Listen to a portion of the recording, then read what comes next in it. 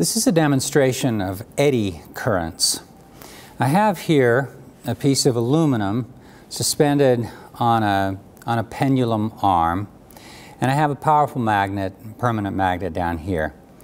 It produces a magnetic field in this direction, and when this piece of aluminum enters that strong magnetic field region between the two poles of the magnet, the change in the flux, the magnetic flux, through this piece of aluminum induces an EMF in the aluminum and currents in the aluminum.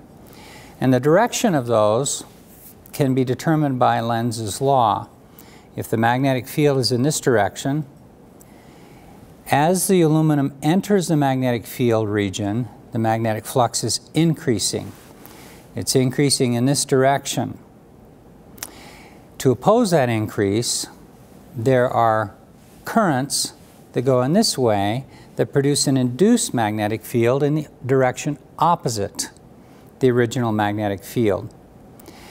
And that oppose, that works out, th those actual currents produce a force that opposes the, uh, the actual motion of this aluminum plate.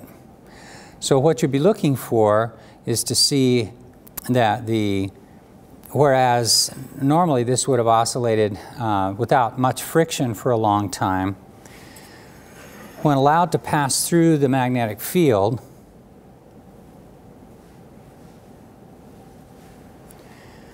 the force is quickly, or the, the motion is quickly damped out. Center that a little bit better. That's called eddy braking. It's used a lot in um, amusement park rides, actually, to slow down amusement park uh, uh, cars in, in roller coasters, etc. Now with this piece of aluminum, we've got slits cut into it. So those circular eddy currents are not, uh, this will prevent any eddy currents um, to be produced.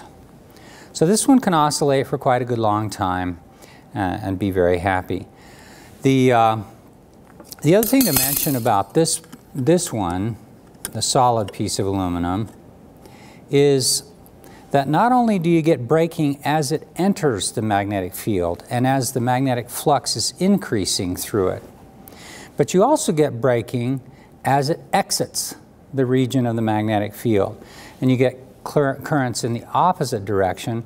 Both, the, both when entering and exiting, it tends to slow it down. So those are, that's eddy braking, and um, one more example of Faraday's law.